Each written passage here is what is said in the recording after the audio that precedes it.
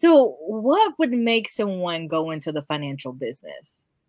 Like, what, what Um, was your what was your like? Yeah. Oh, I think we want to go into the financial sector because some people like because most people are like, you Mhm. know, it's a lot to to digest, and especially when it comes to when, I talked to Antonio, we talked we talked about um generational like um wounds around money and Mhm. how do you you know why what you know and our connection to it um not as an individual or as a group however you want to put it but like you don't have to go into details but like what made you say okay i want to go into the the banking or does it just choose you So it was a little bit of both. It was a little bit of chose me, and then I chose the.